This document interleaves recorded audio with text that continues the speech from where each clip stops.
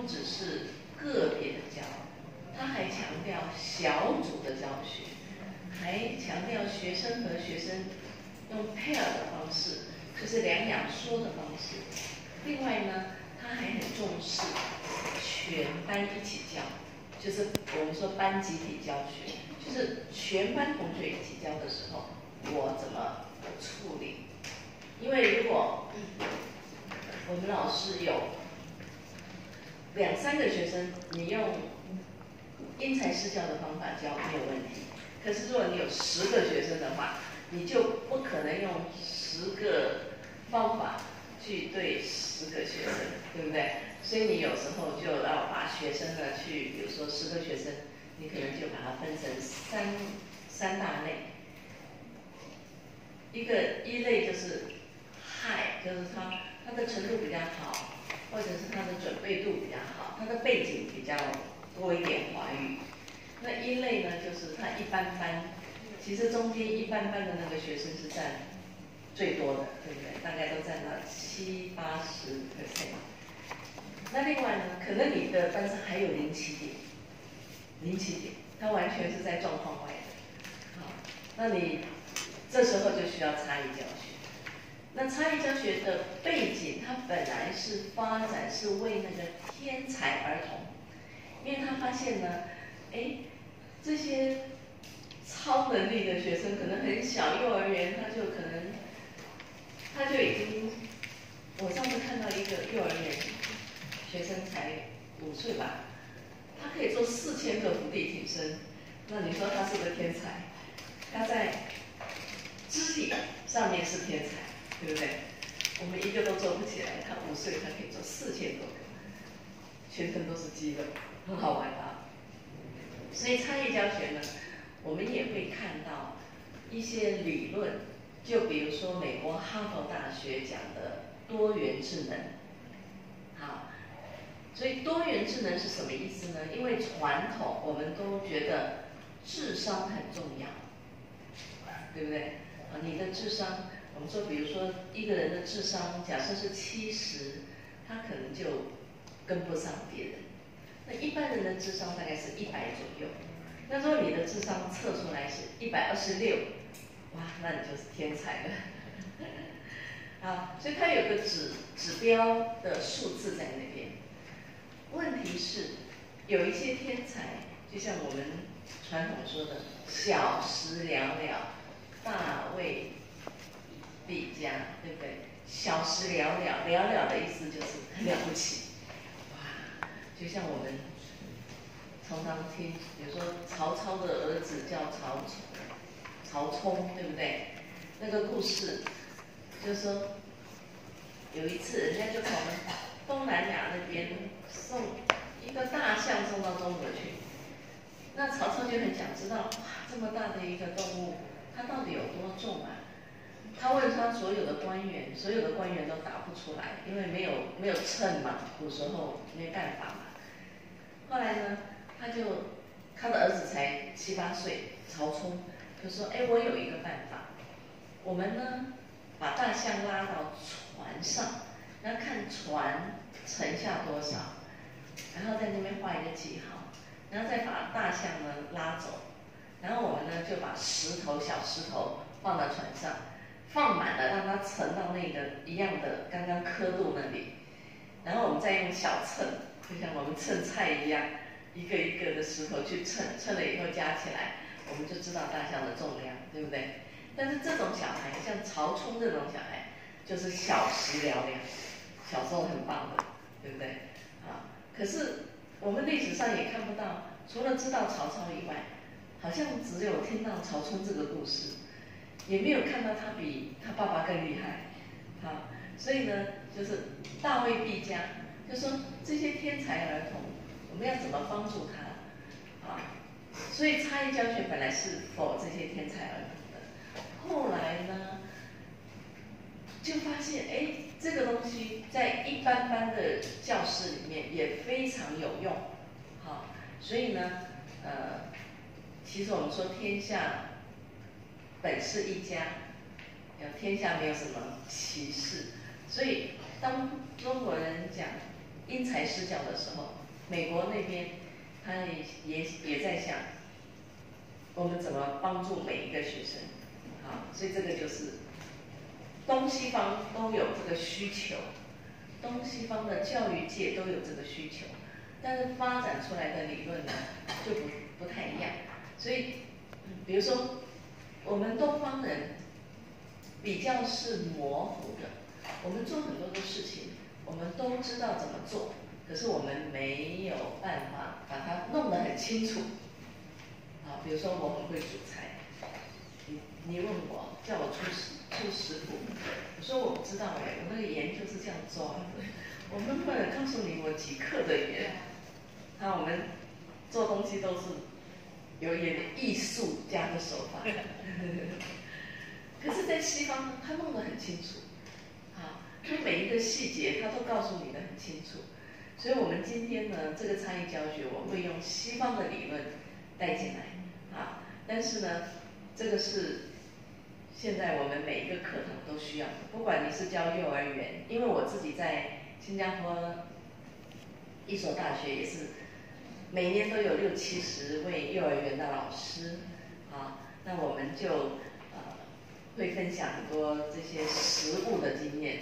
所以呢，不管是幼儿园，像我自己的 range 就很大，我可以从幼儿园的老师教到高中老师，啊，所以这个 range 呢，呃，就是可以帮助啊，我们用一种方法去思考，面对不同年龄的孩子，面对不同的教材，对不对？每一个人的教材不一样，好，所以用一种方法来来去应用转。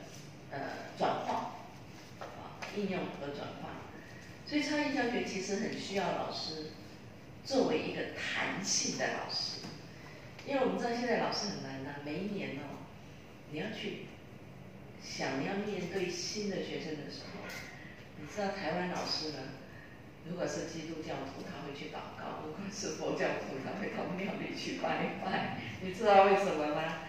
因为你不知道今年的学生。会是怎么样？你只希望他顺顺利利。可是呢，如果你碰到一个有自闭症的孩子怎么办？像我们就有老师说，碰到自闭症的孩子，他有一次哈，他每天写的功课是顺序是一样的。比如说第一点可能要写几个词汇，第二点要用这个词汇写句子，哈。那他那一天呢就不知道，他先第一点说你们要回家写句子。第二点要写词汇，哪几个词汇？就那个自闭症的孩子啊，他是天才儿童，他哭了一整天。为了老师只是把这个顺序调整一下，他就哭了一一整天。那你就知道，其实你面对不同的孩子，你要有不同的方法。如果你正好碰到自闭症的小孩，你每天的那个规律性。一定要很规律，不可以随便变化。啊，那如果你碰到是好动的儿童怎么办呢？现在越来越多，可能他们喝的塑塑料的饮料啊什么。所以呢，好动的儿童，我们也跟老师说，你让他在后面走没有关系，可是你要跟他约法三章，你不要去吵到同学。好包括等一下我们会分享的一个多元智能，因为有些小孩子，他他坐在你前面，他会这样转笔。那有些小孩子想要嚼口香糖，那如果是美国的孩子，地上去，然后呢穿一个短裤拖拖鞋，然后脚可能敲在桌子上，但是你说他有没有在学习呢？有，所以你不能管他。所以你要知道，你面对的孩子是怎么样的孩子，因为你管他，他就不愿意学了。好，所以你要因着他的一个，这里面当然有文化的意涵，对不对？啊，因为西方的人比较自由，他觉得我就是个人主义嘛，我要标榜我跟同学不一样。啊，我真的在美国教的时候，那些孩子啊，他真的是就是，我也不知道他们会不会认为地板很脏。他们但从来不想这个问题，他们通通躺在地板上。然后等到要要用电脑的时候，他们再做做起来，很好玩。就是，但是只要他们有在学，我的教室管理，他没有吵到同学，我都让他很很快乐、很自由在那边躺啊、坐啊，哈。那这个其实也是差异教学的一个精神，好。那有些孩子呢，他可能坐在那里一直在口袋里面放个钥匙，叮叮当当吵你。那其实这种孩子，他其实是需要我们说 physical，他需要身体的一个触动，他需要去碰一个东西、抓一个东西或者咬一个东西，他才开始学习。不然你禁止他做这个动作，他就瞎当，脑筋就瞎当。好，所以像这种情形呢，我们也要了解现在的孩子非常的多样。多元又多样，你知道美国我那个学校呢，竟然花了一大笔钱，请了一个 director，叫做 diversity director，就是多样的主任。所以他在学校里面呢，就专门去针对学校里面的这种多元多样的情形去做去做建议呀，或者去关怀呀，好，所以呢，以后我们的老师。面对的不是一群学生，而是一群多元多样的，每一个都有个性的，好，就不是一群了，就是一个个一个个，就像小地鼠一样，这里冒出一下，那里冒出一下，那你好不容易安抚了这个，那个那个那边地鼠又又从洞里冒出来，好，那教学越来越难，好，好，那。今天呢，我们要讲的就是先了解什么是差异教学，啊，那我们呃导入一个新比较新的这个差异教学法，它其实没有一个教学法，它其实也是要用很多的教学法，所以我们说，但是它有一些精神在那边，啊，那我昨天一直强调的就是说，我们要看学习发生了没有。我们不是看我教的好不好，而是我在教的时候，学生有没有在学，啊，这是我们要思考的一个核心的一个精神，啊。以前我们传统就是我教他一定学，可是现在呢，我们已经知道我教他不一定在学，他有很多吸引他的东西。他心里可能想，等一下我要去玩电动游戏。他心里可能魂游四四海，他根本不是我们现在说要 teacher present，老师你要在现场。可是我们发现呢，老师在现场，student don't present，学生不在现场，所以你要把他抓回来。physical，他身体是在这里，可是脑筋。在不在这里？他左耳听进去，右耳可能出来，好，可能根本呢，没有左耳都没有听进去，这是有可能的，啊，所以呢，我们要观察学生，啊，要观察学生，你要懂得看懂学生，包括我昨天讲的心理学，他们做了很多的研究，你看学生的眼神，他往上去掉的时候，他不是对你不礼貌，他是在记忆库里面去思考。哎，去去掉掉东西下来，但是呢，你有没有看过一个很有名的罗丹的沉思者？一个雕刻，他是怎么样？他是这个样。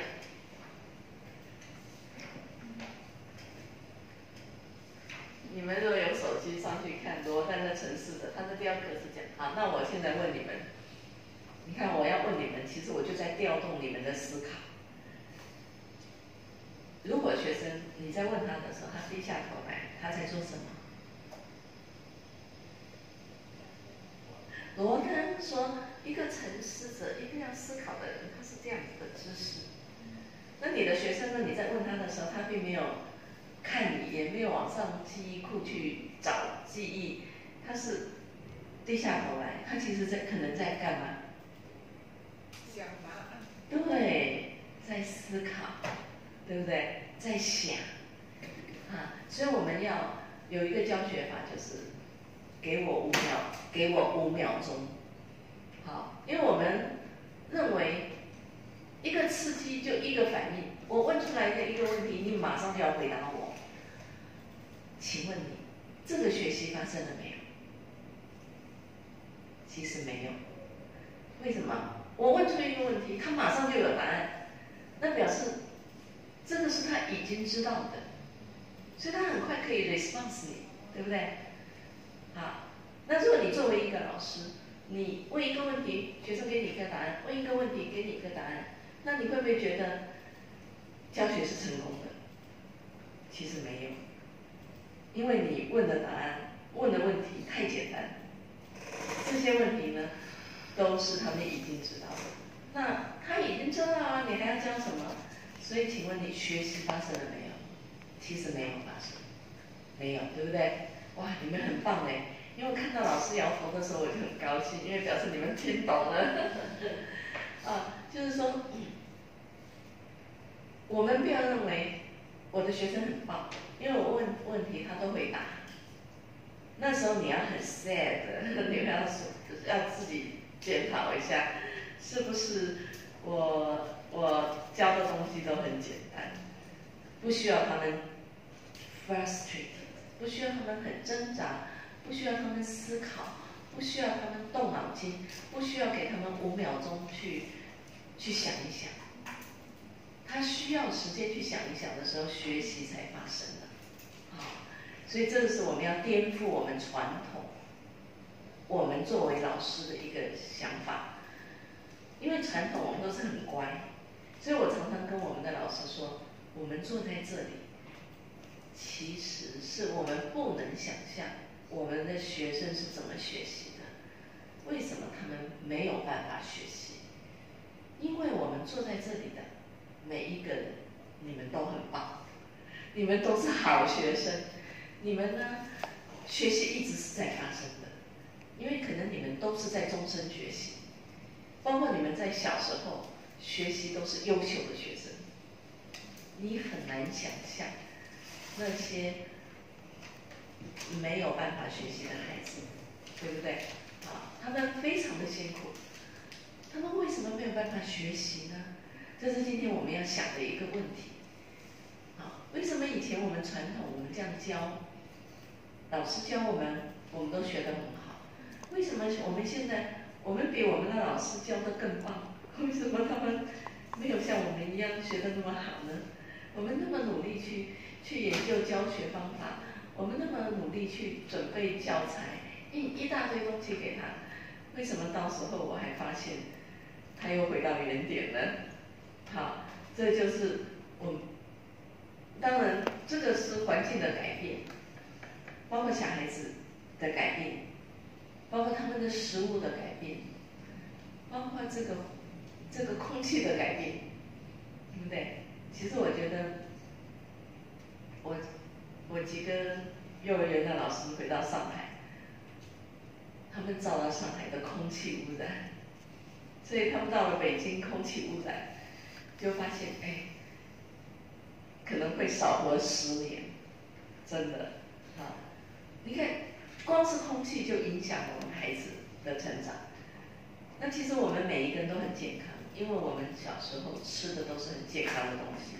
可是现在小孩子吃的，你不知道人家放的是不是防腐剂？我看过人家用西瓜这样整个浸浸到药水里面再拿出来。那你说西瓜甜不甜？当然甜了。所以现在就是少吃，你就会。比较健康一点，这是我们的开玩笑了哈。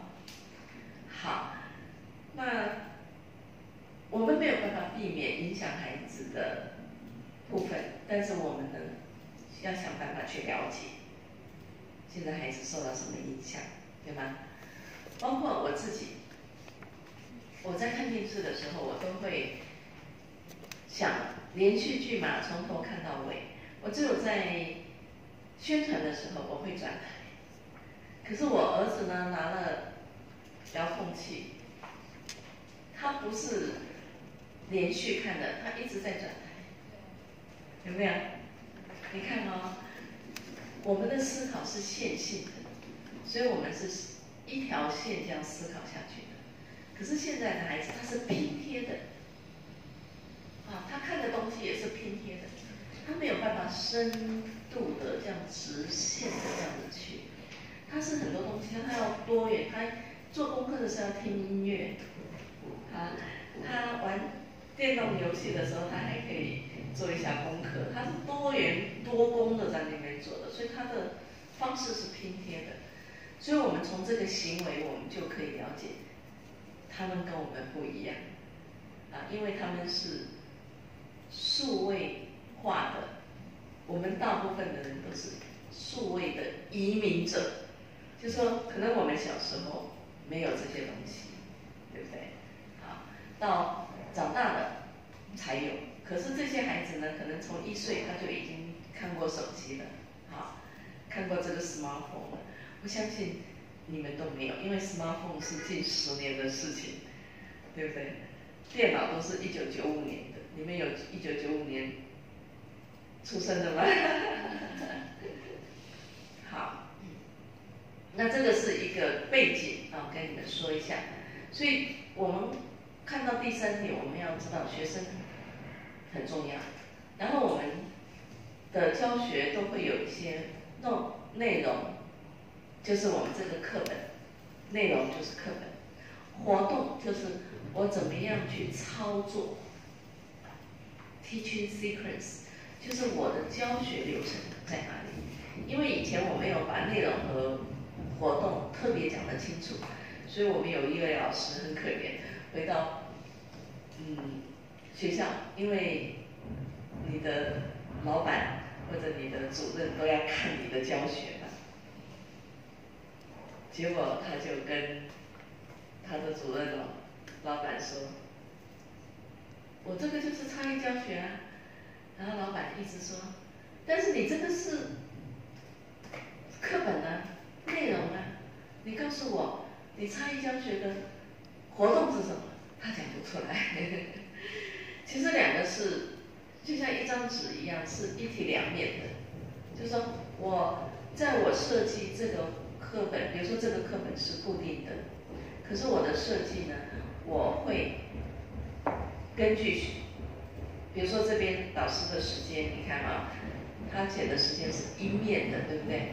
可是我会根据学生的程度调整，我不会这一面全部都。交给全部的学生。你现在学生其实不用学时间，我告诉你们一个窍门。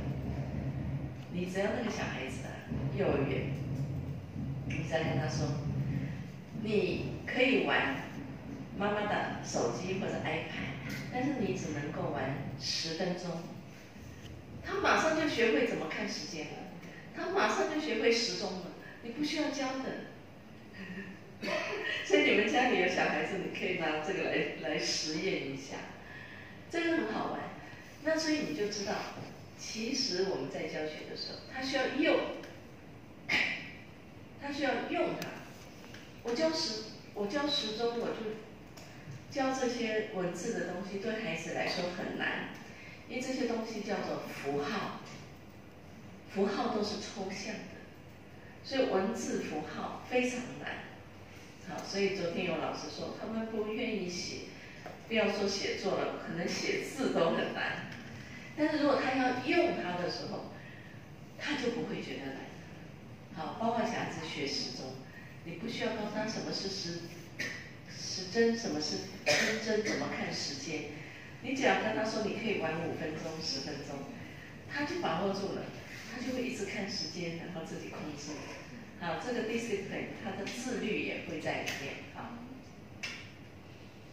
所以，我们教的内容，还有我们的所谓的活动，在这边就是说我怎么操作，因为我们教学很注重 delivery，你怎么样去实施你的设计的内容，好，那个就是活动。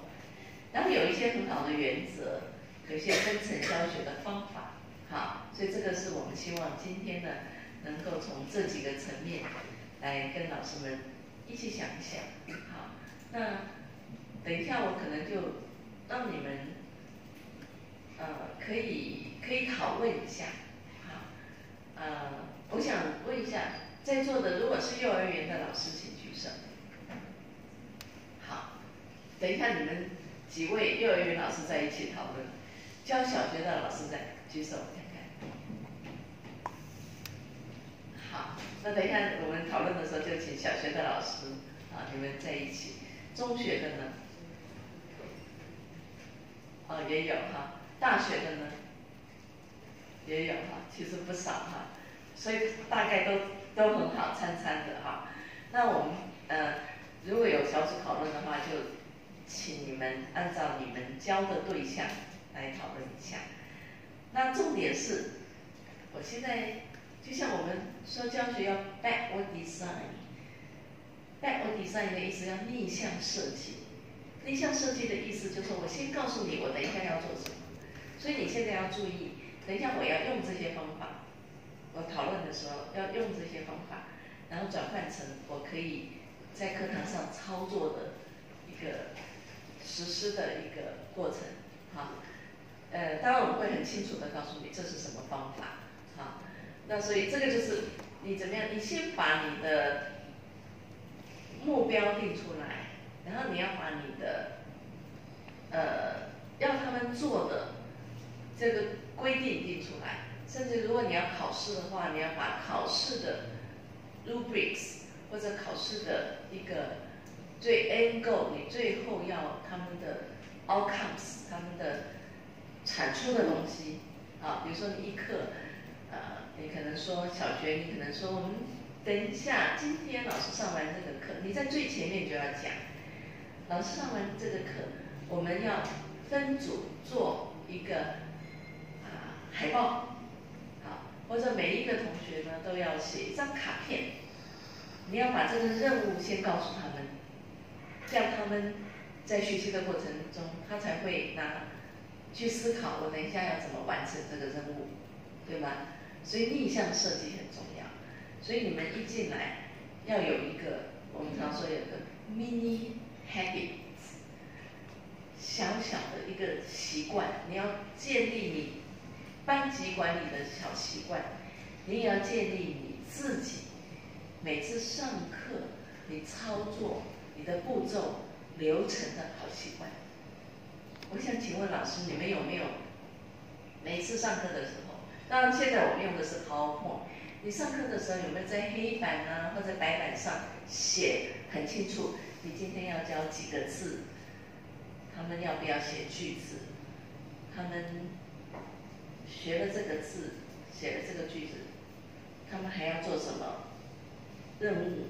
完成什么工作？有没有？很少，对不对？好，所以呢，以后呢，你们就要。把这个 mini habits 建立起来，啊，你就要很清楚告诉学生，我今天要做什么，你们要学什么，然后呢，我最后呢，要用什么方法来检验你们，好，而不是说我就负责进来就照我脑子里面知道的，我我照着这个顺序教，啊，而是要很清楚的告诉学生，好，好。那这个呢，是我们常常有的 K L K W L 的 chart，老师们应该不不太陌生哈。那我稍微把它改了一下，好，本来它的原意呢是，你已经知道什么，这个就是我们要知道学生的先辈知识。等一下我会告诉你。怎么样去检验学生的先辈知识啊？包括他的兴趣啊，包括他有没有啊准备好要要学这个主题啊？因为我们现在华文教学很困难的，尤其是越大的孩子，在大学教书的孩子，呃呃，老师你就知道，那些大学生，他们其实认知已经到了很高的层次了，可是你你的。华语还在教你好我好，我喜欢吃什么你喜欢吃什么，他们会觉得很 boring。如果你在跟他们谈呃，你的朋友怎么样？啊，你有没有女朋友？啊，他可能会很有兴趣。啊，所以你的 topics，你的 theme，你的主题，你的呃话题，你需要符合那个年龄层。So What do you know？这个又是指学生。啊，学生已经知道什么？What do you want to know？就说你在这一节课，你想要知道什么？所以我们教学其实要很有效。那所谓有效，就是你在我这一节课，你就要学到什么。好，我们要把它切成 mini lesson，就是小课，要把它切得很精准。比如说在新加坡。一课一节课可能是三十分钟，他三十分钟就需要做什么？啊，就是你要，所以差异教学，我其实在在分享的时候，我已经带出很多细节来了。就他差异教学，第一，它不是全校性的，也不是一个年级的，而是你作为一个老师，经营自己的班上的，啊，就像是个人工作室。如果你是一个 freelance 的工作人员，你就很喜欢自己去接 case 嘛，对不对？其实台湾老师有很多很开心的情形，为什么呢？因为我自己在台湾教过书，在新加坡教过书，在美国教过书，我就知道有不同文化的比较。在新加坡，他非常注重管理，所以你一定要跟着课程，跟着教育课。curriculum，对不对？可是台湾的老师呢，他其实可以不要跟得那么紧，他可以给很多学生补充教材。所以，我有一些好朋友，他们是教的很快乐，因为他们把班级自己的班级当做自己的工作室、工作室。然后呢，他要做什么都 OK 的。他今天要学生唱首歌。学校也不会管他，啊，他今天让学生看电影，学校也不会管他。但是呢，他只要把学生带好就好，好，呃，所以他的教学可以是呃是量身打造的，啊，好，那我们就知道参与教学时面对的是我这三十分钟，What do you want to know？我们要知道学生想学什么。而不是我要教什么，好，我一直在颠覆你你们作为老师的一个概念，好，我们要看到学生，因为我们在新加坡，我们的部长来我们中心，跟我们这些，我们是 trainer 嘛，我们 trainer trainers，我们来培训老师，部长第一句话就跟我们说，你们不要跟我们说你们用什么很好的方法去。培训老师，你要跟我说，你们培训出来的老师，他们带出的学生学的怎么样？你们要去问家长，你的孩子学的怎么样？对不对？所以他们的眼光不再是注重我们，是他们要讲成效，要讲效果怎么样？这是我们老师常常疏忽的。我们是讲我们的教学方法有多棒，可是我们常常忘了，三十分钟里面，学生学习的效果怎么样？好，学生想学什么才会有效果，学生不想学什么就不会有效果。我们有一个 NIE 的教授，他有一年休假，教授啊，中文系的，你知道他去做什么吗？他去做小学生的家教，因为他需要知道小学生怎么学的，因为他的大学生都是要去教小学生的，对不对？所以他要亲自去教小学生。他说有一次他要跟那个孩子说：“你可以不可以写写一篇文章？”那个孩子怎么都不肯写，就跟他磨了很久，磨了好几天。你知道后来那个孩子写了一千多个字吗？为什么？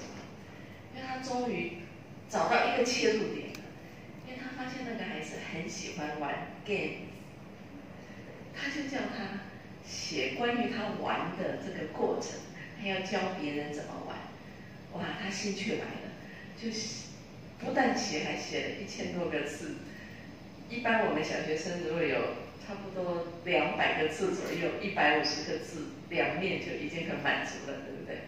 他哗啦哗啦，他他不是不会写，但是他要有兴趣的，他才动啊，对不对？他他才动。包括我们，像我们周老师，他在教戏剧教学法，他教了很多的老师在我们新加坡。我就看到他们做了一个短片，好，那个定式，定式就是说，啊，有一个小孩子，他从来不说谎，你不知道他会不会，他就是不肯开口，他就是在你教室里面是最沉默的那一个，一个男生。然后有一天呢，那个老师就用了一个戏剧教学法里面的定式，他就把教室呢。这弄一一排椅子，他说我们这个就是地铁 MRT，好，那他就叫那个从来不讲话的那个男生去扮演一个大肚子，然后呢，另外一个调皮捣蛋的学生坐在那个博爱座、敬敬老座或者是那个啊，那个扮演大肚子的那个不讲话那个学生呢，就挺着一个大肚子很。表演的很像啊，就站在他前面，就这个人也不肯坐，就可能假装睡觉啊。那那那个同学呢，假装玩手机啊，都假装没看到他，然后就定格在那边。然后结果呢，下来，老师就问他，就问每一个学生：你坐是这个不爱座，你假装睡觉，前面有个大肚子，你看到了吗？他说：其实我知道。他就讲他的。心得，他说：“可是我也很想做。”那另外一个玩手机的人，老师也问他，然后最后问到那个大肚子的，不是很讲话的学生，就老师很惊讶，他讲了很多话，因为他讲他扮演大肚子多辛苦，他心里多想有人让他做，所以他不但终于开口了，终于讲华语了，而且呢。还能够讲出感想和看法，好，所以这个就是我们老师，你有没有发现，你用不同的管道可能会 touch 到他那个 button，你按下去，你终于启动了它，不然的话你怎么问他，他都不肯，对不对？他必须要经经历过、体验过那个情境，他讲出来的，好，所以这个都是。不同的故事，我们就知道，其实你就是要找到那个学生的那个 button。等一下我会分享那个 button 在哪里啊？可能的 button，因为每个学生不一样。所以写作如果他不肯写，那你就要想办法去看他对什么最了解。所以我们曾经有个实验，包括我们明天会分享的阅读理解。其实小孩子。他的阅读的理解的表现呢，他其实是跟他对那个东西的了解的深度有关系。就说，如果他的华语程度不是很好，可是他，因为我昨天晚上我们在外面，好像最最近有什么足球赛还是什么比赛啊？你们有没有看到广告？有一个有一个球赛啊。结果，如果那个孩子对这个球赛很了解，那他阅读的虽然他的华语不是很好，他阅读的表现成绩会很高。一个孩子华语很好，程度很高，可是假设是一个女生，她完全不了解足球这件事情，她可能在阅读的表现就会差，对不对？所以你看，差异也会表现在这个地方。不只是他的兴趣，还有他对那个东西的 familiar，对不对？他如果非常的熟悉，他就算语言不好，可是也是可以应付的。他如果不熟悉，语言再好，也是没有用的。好，所以这个还有就是他有时候我们说我们要 meaningful learning，这个东西对他有没有意义？他有没有 make sense？好，他有没有觉得跟我有关联？那你不能说这个东西就是你的。他如果自己没有感觉，你说也没有用，对不对？他如果真的觉得这个东西跟我有关联，他就会有那个 motivation 啊。好，第三个 What did you learn？这其实就是我们一个很简单的操作。我我讲实际的，可能比讲理论你们更容易抓得住它。比如说我今天教了五个生字，我下课以前前五分钟，我就会请学生把它写出来。而下课的时候呢，投入我的，我会准备一个纸箱，投入我的箱子里。可是呢，我其实是要问学生，就是今天老师教了这五个生字，你们学到话题就认，你们学到几个？好的可能会写五个，差的可能只写一个，但是不管他写几个。他都要写出来，投到你的箱子。为什么呢？因为不是放到你的箱子就好了。明天上课第一件事，你要从箱子里面去抽。啊，你昨天写了五个，你可不可以今天呢？呃，告诉我是哪五个？因为你要学习全在学生自己身上，他自己要知道他学了什么。如果你说你只学一个没有关系，真的没有关系。但是你反思，你自觉，就像有一个 meta cognition，就有个后设认知，你在监督自己的学习。小孩子他都懂 meta cognition，反而是我们不懂。为什么呢？因为他们玩 games 的时候，他们玩游戏的时候，其实他们有扮两个角色。一个角色就是 monitor，一个角色他要在这个游戏里面自己去找一个角色角色来扮演。比如说你想做大怪兽，那你的能力就非常超强。你决定要做一个美女，非常的美丽，可是你可能完全没有能力。就它有个反差，有没有？那你要决定呢。所以小孩子他要在那个游戏里面去扮演某一个角色，可是呢，他在扮演的时候，他要有个 monitor，就像这个 monitor，他要从一个高空去看自己作为一个大怪兽和美女和其他的角色之间的互相的拼斗啊，或者是故事的发展啊，他要把握得住，对不对？你们有没有玩过这种 game？没有，所以我们常常要向学生学习，因为他们到底他们在玩什么，我们都要知道啊。我我其实跟很多大学生接触，其实都是他们告诉我的。那有些孩子他的 monitor 非常的强，因为后原认知。meta cognition 的意思就是说，他在监控自己的学习。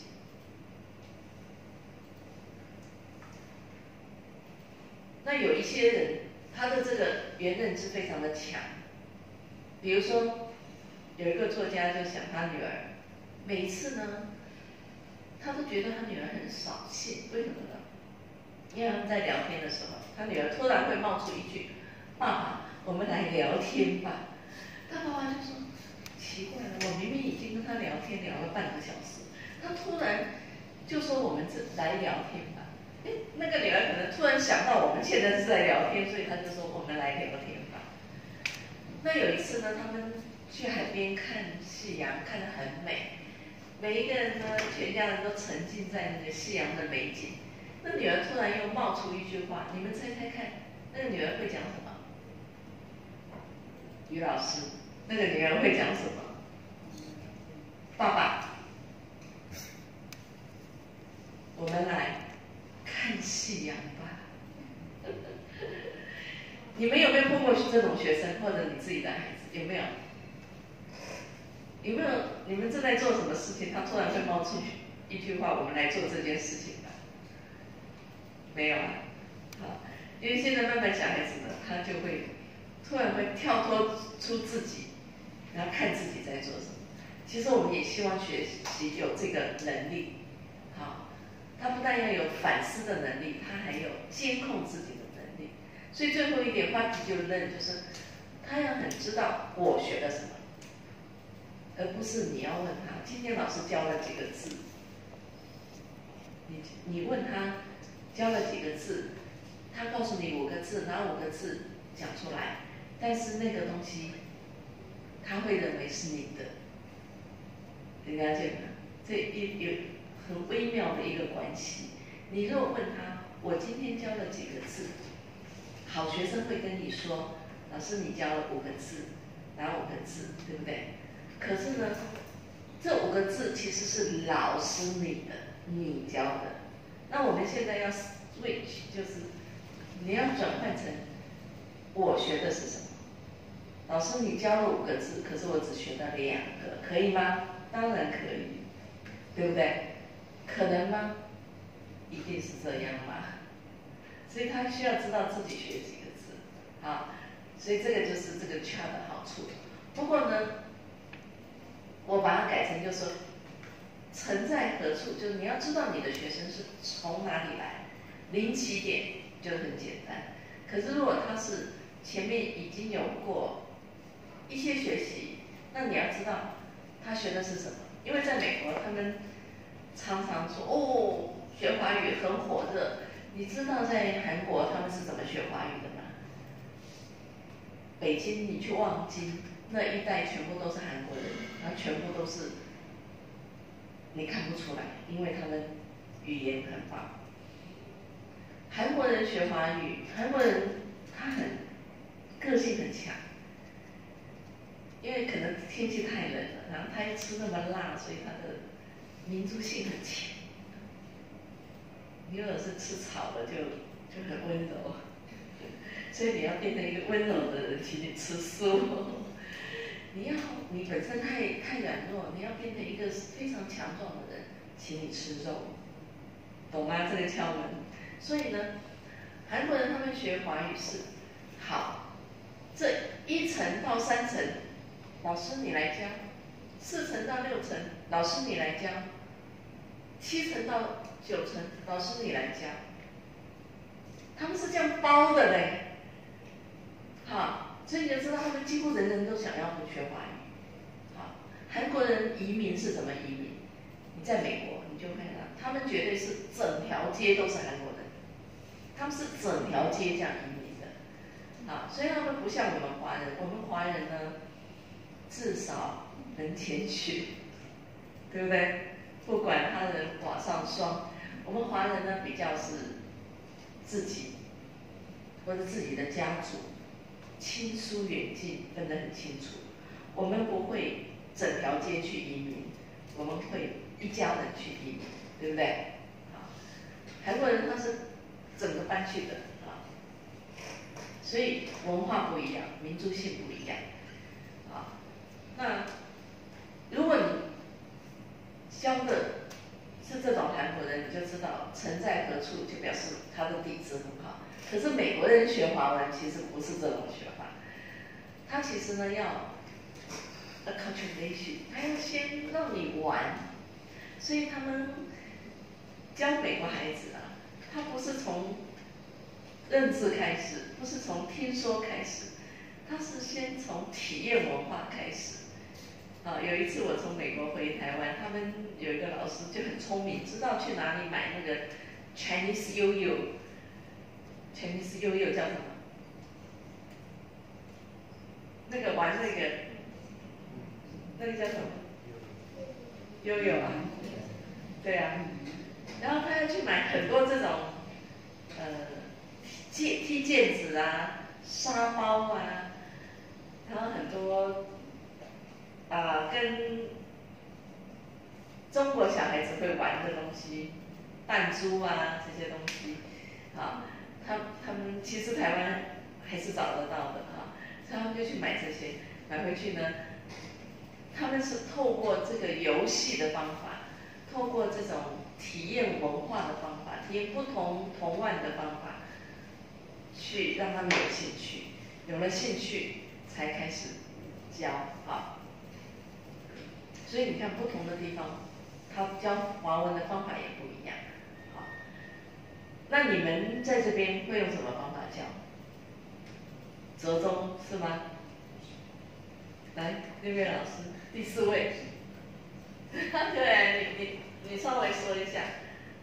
嗯，我们平时是通过啊听，然后读、写、默写、写，不断的就这样。但是也有时候呃加那个。游戏是是是，我觉得如果有一点游戏，小孩子蛮有兴趣的。对，会会好！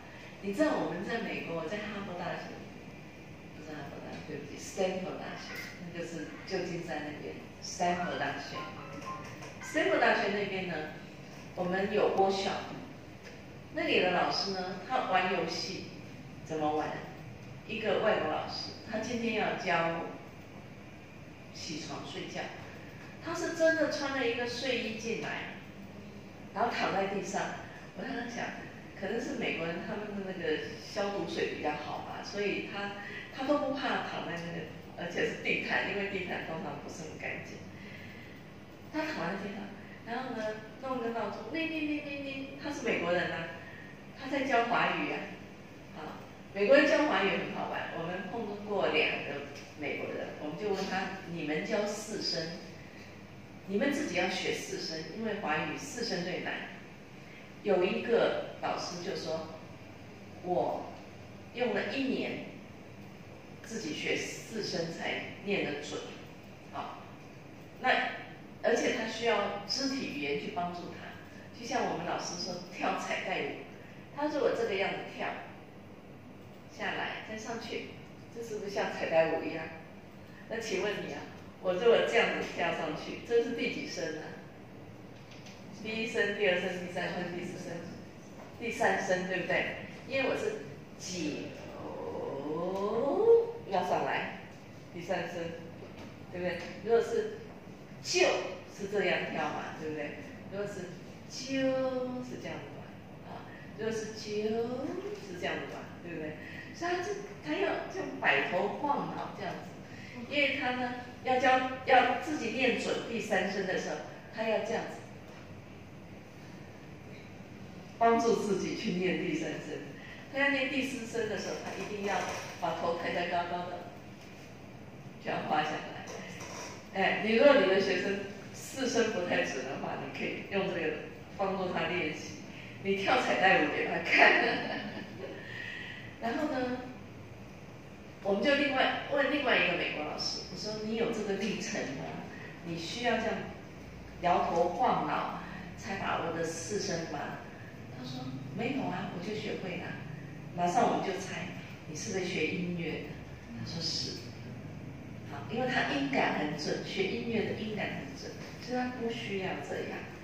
好，可是呢，那个那个需要去白头晃脑呃。摇头晃脑的那个老师，他可能是肢体语言，用肢体语言去学习的，所以他要用肢体语言去帮助他。好，这也是才艺教学。好，所以呢，我们就说，我回到那个斯坦福大学的那个故事，那个老师，我算了一下，那个笔记还在，可是我还没有把它找出来。他为了要教一组词汇，大概七八个。他用了二十几种的游戏方法，他是在游戏中间去教词汇，比如说他就是要教早上起床，他自己呀要先穿睡衣，然后起床，然后呢他还要真的刷牙哦，哎，他要刷牙，说哦现在几点了？我要起床，我要刷牙，啊我要洗脸，当然是干刷干洗了。他把所有的动作全部真实的表演出来一遍。好，我们这个还没有完呢。这个才是第一遍，老师 demo 给他们看。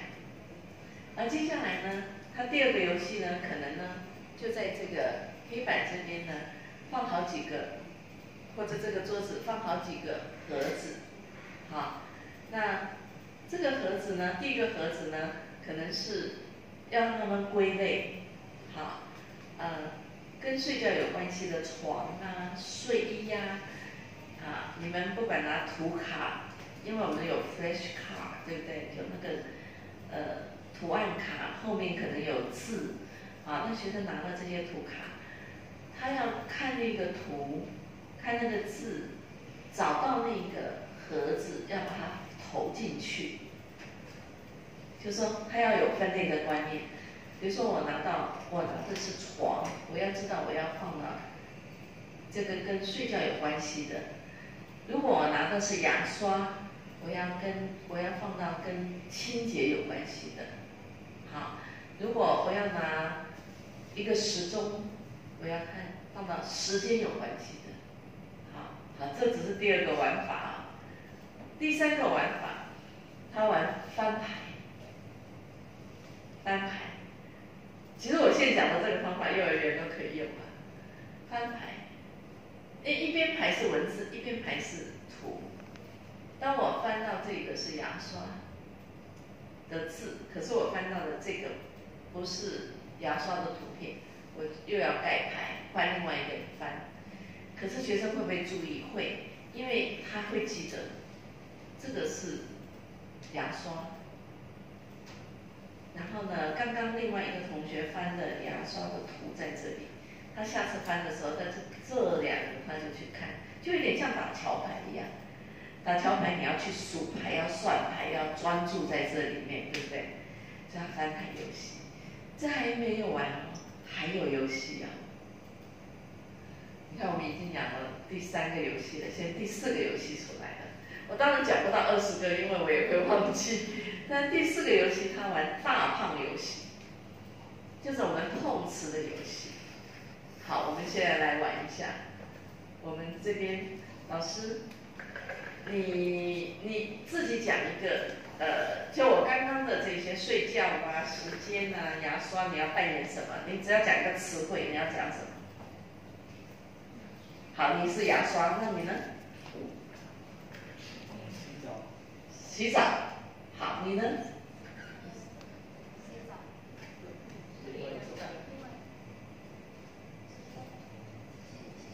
好，起床。那你呢？啊？睡觉。睡觉。好。那你呢？早餐。好，我们再讲一遍，每天要记得自己的词汇，还要记得别人的词汇，因为我们等一下要玩一个游戏，就比如说我的早餐。碰要碰碰瓷游戏，我的早餐碰睡觉，哎，睡觉是谁？睡觉是你，对不对？那你就要赶快说，我的睡觉碰牙刷。所以你看啊，你要记得它是牙刷，然后你要说我的牙刷碰起床，起床，对不对？好，你们五个人来玩一下，这个是帮助学生记自己的词汇，还要记别人的词汇。玩过了一遍以后，他是不是五个词汇就记起来了？他如果记不起来，他就 out，他就不能玩了。好，所以我们来来来看啊，来，你们再讲一遍，方便你要记得后面四个人是谁啊？来，你是什么？嘿，hello，你是什么？牙刷，记得了哈。那你呢？洗澡。洗澡，你呢？起床，起床！哎，你要记得你自己是起床的，人家要碰起床哦。你呢？睡觉。睡觉。你呢？早餐。早餐，记得哈，那是早餐。你是什么？起床，还，记得了哈。来，你先开始。我的牙刷。牙刷碰起床。你要说我的起床。我的起床碰牙刷，你给他碰回去。他说我的牙刷碰起床，你是起床对不对？你要说我的起床碰牙刷。我的起床碰牙刷。我的牙刷碰早餐。早餐碰牙刷。知道这一种程度怎么样，不是很好，对不对？因为呢，他们想不起来别人，就只记得一个牙刷就碰回去，那牙刷就很倒霉啊。碰睡觉。好好好好，睡觉来。睡觉碰起床。起床在哪里？你嘞？他睡觉要碰你起床。你要说我的起床，你要碰其他同学的。哎，很好很好，他丢哎丢到你的手上了。早餐碰，睡觉又睡觉，又睡觉碰牙刷。又碰牙刷，有一个一直没有碰到哎。来，我们碰他。哦呀，要说碰洗澡。洗澡。好。你是洗澡，啊，洗澡要碰早餐，来，早餐也比较容易。早餐碰牙刷。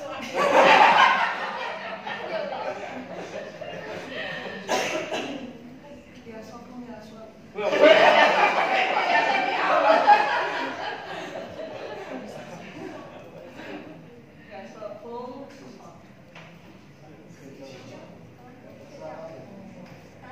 又碰到睡觉去了。睡觉碰洗澡。睡觉碰牙刷。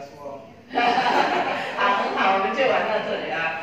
你看啊。如果深刻就很难记，如果你深刻，你不要那么多吗？你五个最多。我跟你讲，小组五个其实是很理想五个，啊。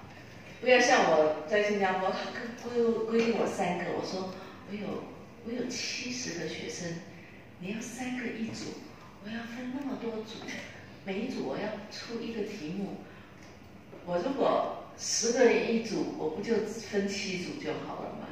可他规定我三个一组，我在想不符合我的理论呢，我的理论都是五六个人一小组是最理想的，五六个还可以记。十个为什么不可以？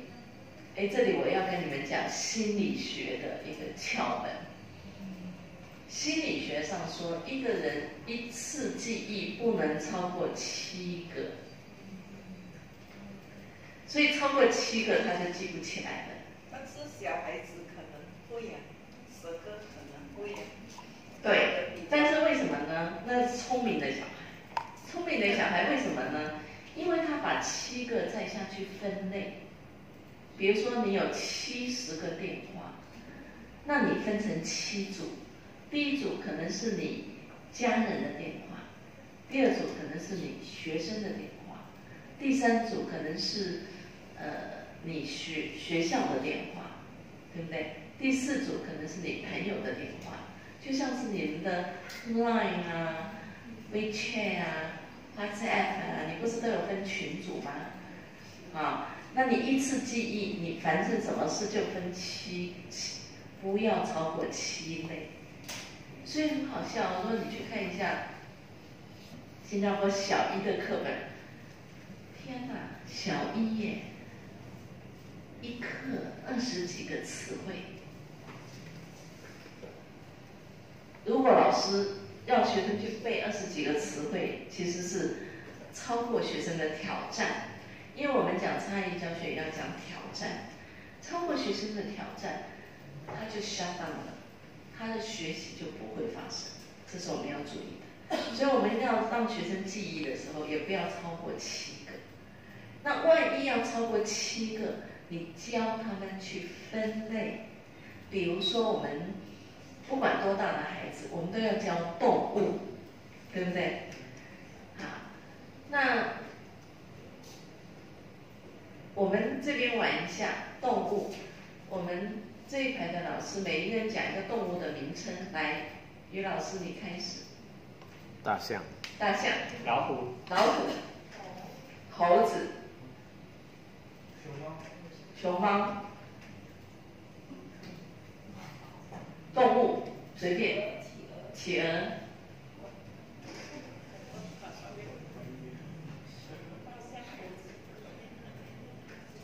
讲一个 animals 讲一个 animals 你最喜欢什么动物？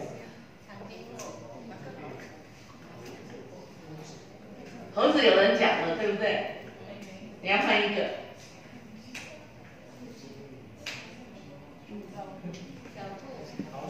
老鼠很好。好，我们现在要分类。我们再请他们讲一遍，然后你告诉我们，你把它分两大类，你的分类的标准是什么？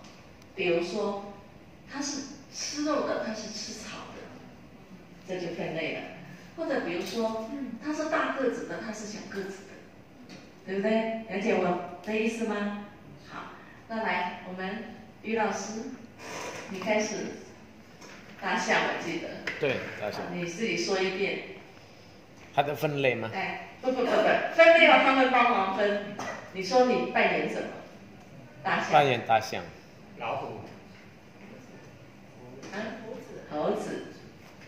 熊猫。熊猫。企鹅。好，我们挑战这一排的老师来。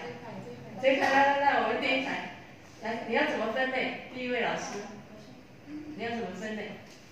分两类就好，每个分类的标准不一样。你用大小分类好吗？大和小。哦，对了，大和小。你会哪两类？大象跟老鼠。非常好，大象和老鼠，对不对？老鼠，因为。一大小。啊？一大一小。对，一大一小，大象很大，老鼠很小，对不对？好，第二位老师，你有没有分类的方法？分类不一样哦，对不对？呃，很凶的，一个是什么？谁比较凶？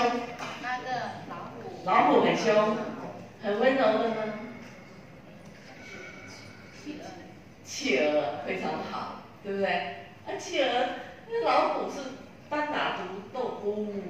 我有一次呢，看到小朋友在读，他老鼠和就幼儿园的三岁，他老鼠和老虎搞不清楚。他说老虎，妈妈说老虎是这样哦，然后他说可这不是啊，这个是叽叽叽叽叽叽。他说哦老鼠，好，那他们因为他们背景是讲英文的，所以小孩子玩玩游戏。其实周老师那天也在，那小孩子玩游戏，他就会，What is What's the Chinese name？他就问这个中文怎么叫？你看他在玩的时候，他其实已经开始想要学中文了。好，他想要知道这个叫佩佩猫，那个佩佩猪，没有佩佩猫。好，第三位老师，你会想到，如果这么多大象、猴子。企鹅、熊猫、老虎、老鼠、猴子这么多，你想要怎么分类？素和。非常好，哪一个是吃素的？老鼠、猴子。吃素哎。大象、大象、大象，还有呢？猴子。熊猫也吃素，对不对？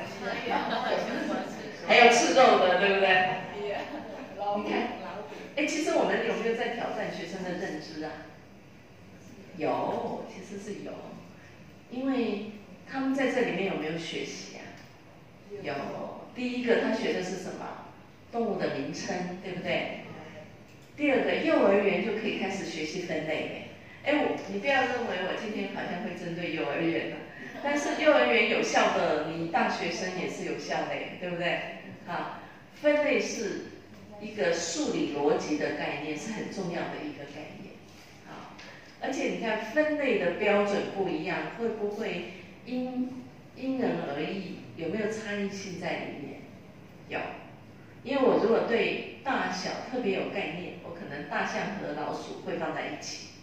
那这时候我记的时候，这两个大象和老鼠我就一起绑在一起记起来了，对不对？但是我知道是吃吃素的、吃肉的，我就会哎，大象和熊猫会放在一起，好，然后其他老鼠啊、老虎啊这些吃肉的我会放在一起，对不对？好，所以这里面其实有好好多层次的学习，好，所以呢，呃，我们刚刚玩的这个碰。瓷游戏呢，就是跟你们说，其实动物也可以来碰瓷游戏，好，你们玩一轮就好。现在开始，我们从倒数第三位老师开始。我记得你是什么来？哎，你们记不记得自己的？不记得再讲一遍来，于老师。老虎。好，来，你们碰一次。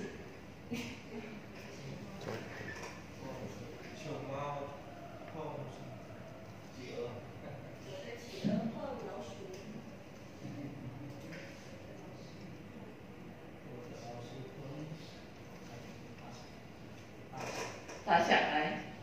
大象碰老虎。老虎。老鼠。老鼠。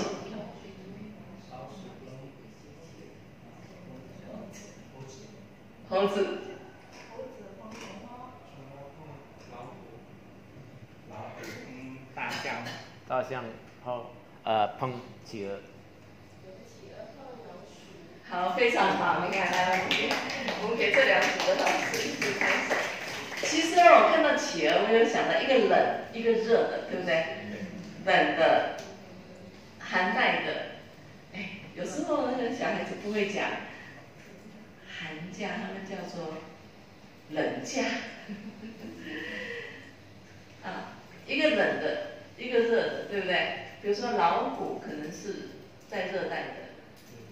非洲啊，对不对？狮子、豹子啊，可是企鹅它是在冰天雪地的啊，所以你看它有无限的可能啊，好玩其实就在这个地方。我们就挑战学生对东西的认识啊，所以那时候呢，如果你有很多的生字要教学生，或者让学生自己去产出。动物，你看我这里面其实我是基于学生，我没有用指定的。我假设我是老师，你们是我班上的学生，我没有说你应该要扮演什么，对不对？我要让他们自己去扮演。好，这是我又把权学习权交给学生。好，所以所以这个好玩的地方就是因为这个词汇是出自自己的，所以他要想，他要开始动脑筋，我想。哟，老师要叫我讲一个华文的动物的词汇，我什么都不知道哎，怎么办？我不会讲，我不会讲怎么办？对不对？那好不容易呢，他可能会想出一个，好不容易呢，可能老师会帮助他一个，可能好不容易同学会帮助他一个，啊，他就会马上把它抓得很牢，就像浮木里面的。大海里面抓到一个浮木一样，他那个至少自己要的那个动物，他会永远记得，不管你信不信，因为他挣扎过。学习其实要有一个 frustrated 的一个可能的过程，好，他挣扎过，所以他抓到他了，他就不会再放手了。这个不是我们要不要他抓的问题，这是我们给他的机会，让他自己去抓。如果你给他，他不 appreciate，他也不要。可是你要他自己出来的东西，他出不来的时候呢，他好不容易有一个东西，他就会很珍惜。好，好。所以呢，啊，下面那个参与教学的价值取向的意思呢，是告诉你，这个其实我们刚在讲背景的时候也稍微说了一下啊，就是因为现在学生越来越。不一样，好，那而且呢，所谓的非同步的学习，就是学生学习的速度、管道、兴趣、准备度各方面都不一样。所谓的准备度啊，有一次，因为我觉得还好，我们没有生在十三亿人口的中国，因为呢，我听过一个故事。一个爸爸要带小朋友去考小一，要入学，老师问他的一个数学，他那个爸爸是数学专家，老师问了一个数学，他爸爸是数学博士，都答不出来。所以呢，你看看，现在现在要通过一个门槛，多么难，对不对？啊，但是呢，其实我们不需要用这种方式去考学生啊，而是我们其实应该是让，不是我出一个题目去考学生，而是应该让学生告诉我他已经知道了什么。所以他差异教学呢，很注意挑战这两个字。对于那个比较程度不太好的学生，我们要让他吃得了，好，就像刚刚我们碰瓷游戏，刚刚要学词汇的孩子，我们就让他玩碰瓷游戏，啊，这个就是他先记自己的词汇，好，然后他还要记他组员的词汇，至少另外四个人他要记起来，记了以后呢，他这五个词汇就一起学下来了。对不对？好，那要对于中等的学生要吃得饱，啊，就是他要觉得有满足感。饱的意思其实是内在动机学习有一种快乐，有一种满足感。如果你们在这三天的培训里面回去有一点充电的感觉，那就达到了吃得饱的效果了。好，这是那种感觉。那吃得好的意思呢，就是说，呃，他好还要更好，好，就比如说，我问你们啊，如果一个学生，假设你碰到一个孩子，他是从中国来的，他什么都已经会了，可是他又在你的班上，他妈妈觉得他不要落掉这个队伍。不要忘掉中文，对不对？像我们昨天晚上去跟一个呃老师吃饭，他就说我自己虽然是在外面做生意，可是我一定要每个星期要教华文。我们就问他为什么呢？他说因为我教华文的时候，我才不会忘记华文，不然我平时生活里面都很少用到。可能在家里他是讲福建话啊，先有人讲。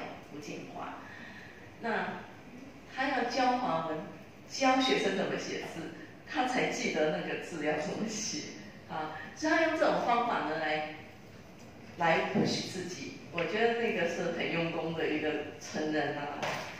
那吃的好的意思就是说，呃，如果你有一个一百分的学生，可是我们说保底。不封顶，他是一百分，可是另外一个学生程度很好，他可能是一千分，那你可不可以因为那个一千分的那个很棒的孩子，把那个过门槛的那个一百分，因为那个一千分的孩子，你可能要给他打一百分，可是刚刚过门槛的孩子，你可不可以把它降低下来？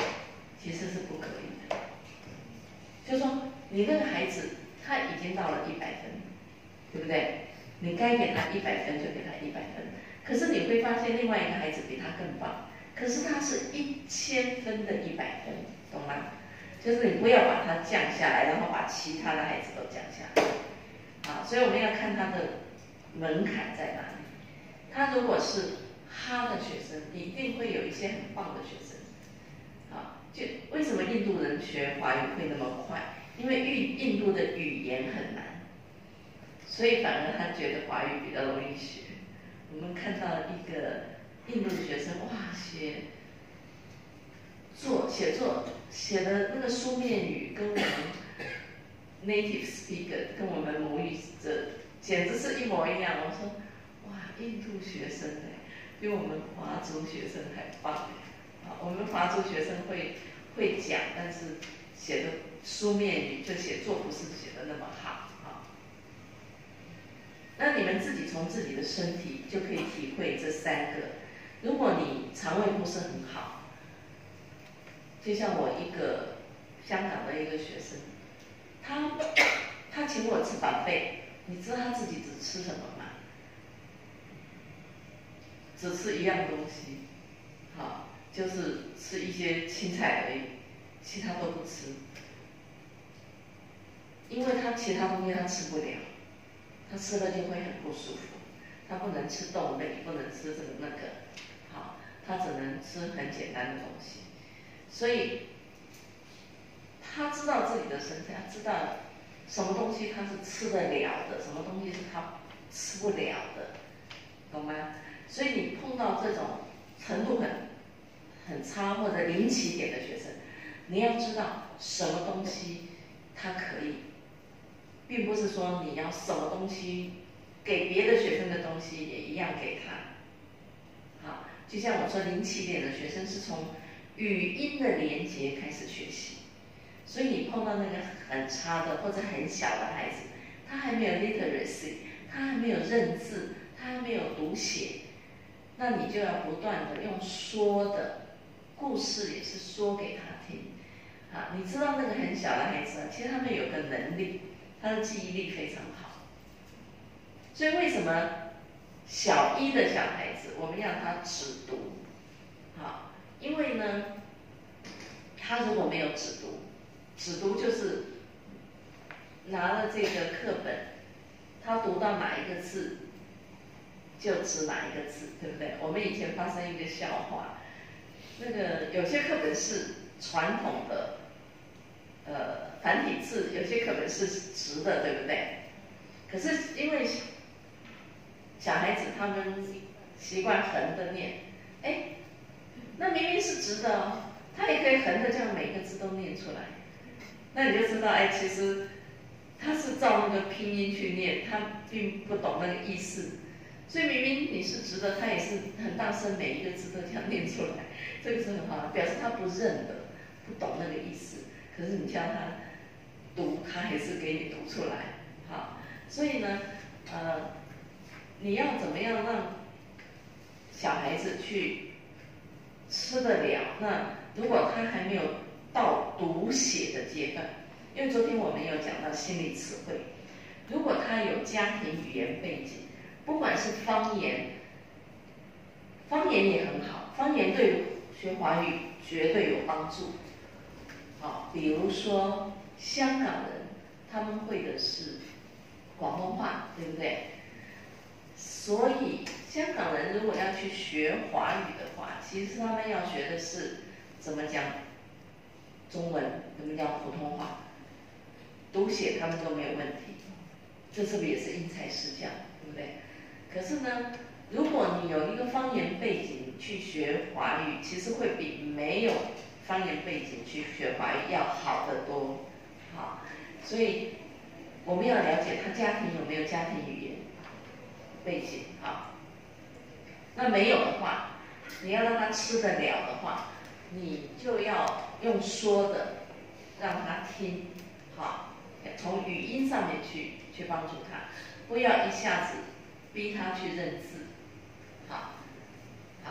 那吃得饱的话呢，就是你要帮助他能够呃学到一些东西，好，呃有充实感，那吃的好的意思呢，就是说，啊，因为有一次我的朋友就是说，哎呀，我夫家每天都在像过年一样吃的很好。那我就不懂他的意思啊，我就追问，我说，你你说每天都吃的很好是什么意思？说我们不是过年才会吃一些鲍鱼呀，啊，海参啊，对不对？这些比较平时不是天天吃的。他说我家，我发现我夫家平时吃饭都会去吃海参啊、鲍鱼啊，那就叫吃的好，懂吗？好，好。和饱是不太一样的，你追求饱就是你吃一碗饭也是很饱，那追求好就是你要很精致的东西，比如说高级词汇就是要吃得好，普通一般的词汇就是吃得饱，或者我说如果他会在生活里面用一些成语的话，其实就是吃得好，如果他只是讲话但是完全不懂成语的话。就是吃得饱，了解吗？我在美国教他们 AP 的时候，他其实是有一个等级的。有些小孩子他其实已经在五级了，我给他听六级的录音。你知道小孩子下课追着我要教他们什么吗？教成语，因为他发现啊，老师你总是给我五分，然后你给我听到六分的那个，我也讲得出来。不过六分的那个呢，里面他讲了一个成语呢，我其实我如果学成语我也会用，可是因为我我没有背过成语，所以我不会用。所以老师你教我成语，他真的是追着我要教。你看他学习的动机有没有出来？因为他发现如果他会一点成语，卖弄一项成语，说话讲一两句成语，哇，那个那个程度就不一样。好，那这个就是吃得饱和吃得好中间有一点差别的，对不对？像成语就是高级的词汇。好，我想请问老师，你们在做一般般的词汇和高级的词汇，你们会有时候你们教学我们会给学生一些词汇嘛，对不对？好，你能不能举一个例子啊？来，我们后面那位老师。可以吗？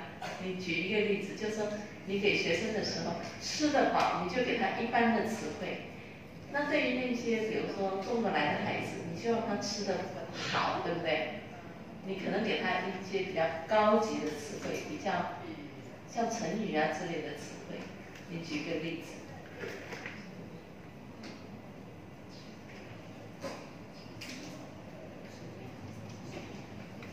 随便举例没有关系。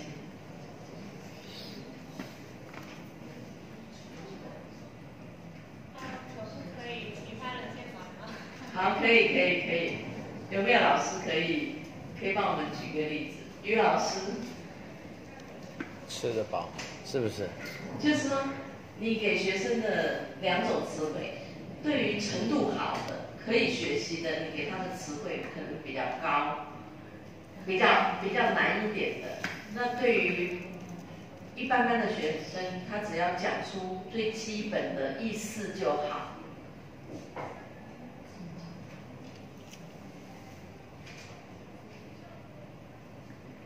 比如说公德心，这个是高级的词汇还是普通的词汇？高级的词汇，对不对？那如果你对于那个程度不好的人，你叫他讲出公德心，他可能讲不出来。好，那那你不讲公德心，你可能会替换一些简单的词汇。你们会换成什么词汇？啊？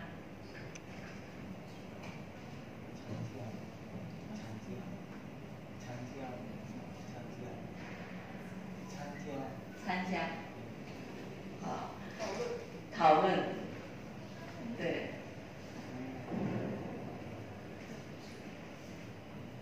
啊，公德心是一个高级的词汇，我们都辨认得出来，对不对？啊，那如果那个学生程度一般般，你可能就不要用功德心，你就跟他说，啊，你可以用举例的方法，啊，你可以说，啊。他在外面不会乱丢了垃圾，他啊看到垃圾会捡起来，这不就是有公德心，对不对？他会照顾这个环境。有一次我看到小朋友，我们当老师都有个坏习惯，会去管人。小朋友吃面包，那个纸就丢下去，我就说小朋友，小朋友，你的老师是这样教你的吗？他不会，就把他再捡起来。我也没有骂他，我只是问他：“哎，是，你你你老师是怎么教你的？”这样，然后他就其实就知道了哈。所以有时候呢，像这些行为就是没有公德心嘛，对不对？所以很多人说以为新加坡是很干净的地方，可是事实上啊，有一次我们院长要带我们去捡垃圾，我心里想。你不是说新加坡很干净吗？外面怎么可能捡到垃圾？就真的捡哦，捡了，捡到七十六公斤出来。原来啊，那天那个清洁工还没有清洁就被我们清洁过了。好，所以其实，在新加坡，它的干净是人做出来的，你懂吗？就由由人去把它，他用大量的人去把它扫出来，所以并不是说他人都很有公德心不去丢。我们都常常看到人家喝完了可乐就车子来了，他再把它放到旁边，他就上车了，他并没有把它丢到垃圾桶里面。好，所以这个就是。有没有一个好习惯啊？好，那这里呢有一个图，就是给你们看，你们觉得哪一个是差异教学？如果我们觉得我们要对学生很公平，我们就看上面这两个图，我们觉得我们要对学生很公平。我给他一样的东西，或者我会因为学生不同的情况，我给他不一样的东西。比如说我给他一样的东西的时候，这个很矮的小朋友就完全没办法看到。然后我给他多一点音架，我给他比别人多一个音架。那这个高的我可以不用理他，不用给音架。好，那你们觉得哪一个是比较符合差异教学？哎，老师都辨认出来的，这个 对不对？啊，就是他需要的，我们多给他一点；可是他不需要的，我们可以少给他一点。好，这是 scaffolding 的音架。那这里呢，这个图呢也是告诉我们，我们老师的角色不是帮学生学习。而是我们告诉他，你伸出手来就可以摘到那个苹果吃掉。那他伸出手来摘不到的时候，你会怎么办？你会帮他把苹果摘下来，还是给他一个 scaffolding？音架。给他一个音架在这边，帮他垫一个梯子，让他自己上去，对不对？那这里面我们要注意一些挑战。如果你跟他说，你把天上的飞机、星星、月亮通通摘下来给老师，结果会怎么样？这个挑战是不是过高？不可能达成，对不对？他会看看天上，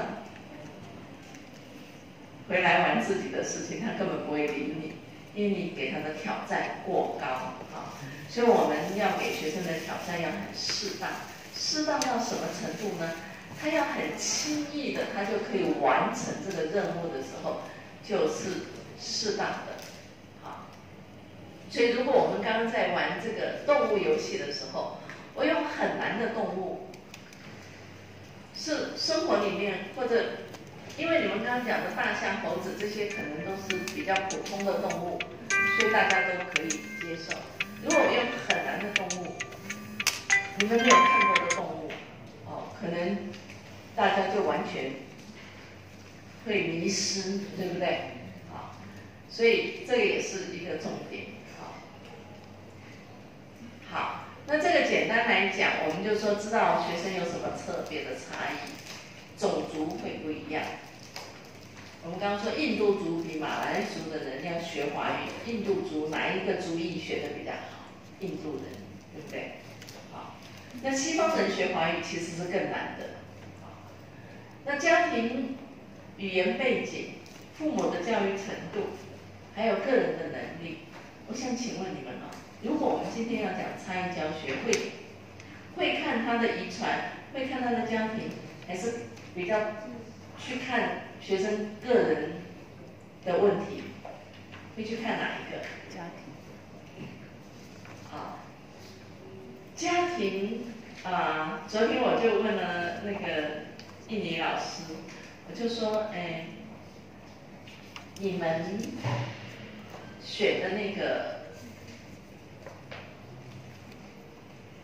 你们选的那个，呃，就是说，听说你雇一个人大概合台币啦，四千多块，算是很便宜，因为台湾都要三万块。